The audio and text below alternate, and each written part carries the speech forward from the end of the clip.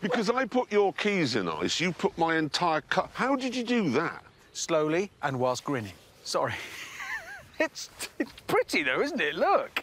It's undrivable, is what it is. For now, It's an incredible effect. but by June, You are going to help me get the ice off that car. I am. And also, I'm not. How long will it be, do you think, before he says, right, I'll set fire to it?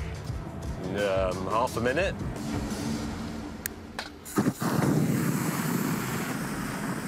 Yes!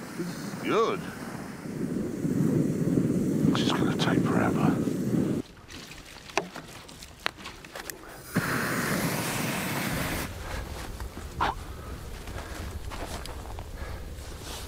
I've overdone it.